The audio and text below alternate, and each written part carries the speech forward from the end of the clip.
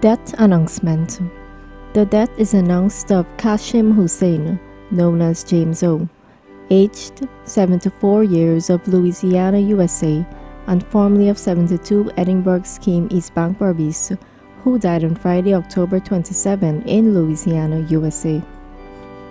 He was the husband of Hazra, father of Maureen, Shireen, Nazreen, Nazir, and Wazir, son of the late Mr. and Mrs. Sakuran and Nadar Hussain, grandfather of Abid, Riaz, Attica, Rihanna, Aliyah, Kalia, Alex, and Gabe. Father in law of Fayaz, Karim, Nindi, and Stephanie.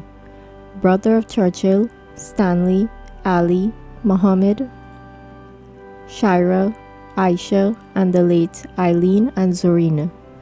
Uncle of Shelley, Sally, Dolly, Sherry, Shazad, Kenneth, and Rahim. Close relative of the Sukram family of Edinburgh scheme.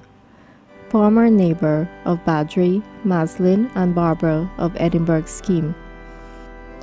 The janazah for the late Kashim Hussain, known as James O, will be read on Saturday, October 28 at 13 hours 30 in Louisiana, USA, followed by burial.